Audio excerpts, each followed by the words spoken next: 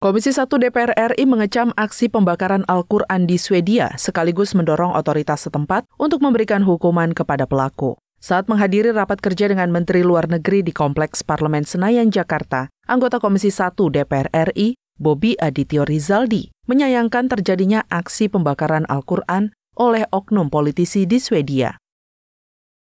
Bobi menilai aksi pembakaran Al-Quran turut menyakiti perasaan masyarakat Muslim di Indonesia.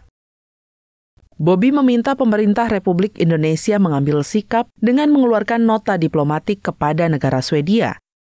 Isinya menyatakan tidak membenarkan aksi pembakaran salinan Al-Quran dan meminta pelaku untuk dihukum.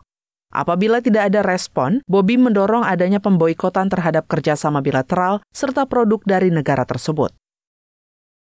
Ya itu sangat melukai hati kita sebagai negara yang mayoritas muslim, apalagi itu di negara yang banyak mempromosikan mengenai uh, mendorong hak azazi manusia.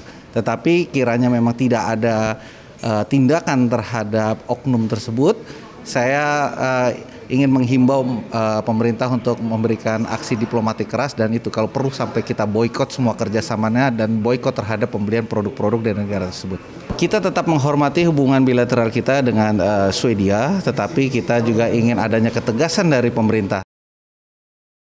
Meski begitu, Bobby berpesan kepada masyarakat agar tidak terprovokasi dan bertindak anarkis akibat aksi pembakaran salinan Al-Quran tersebut. Helmi Darmawan, TVR Parlemen, melaporkan.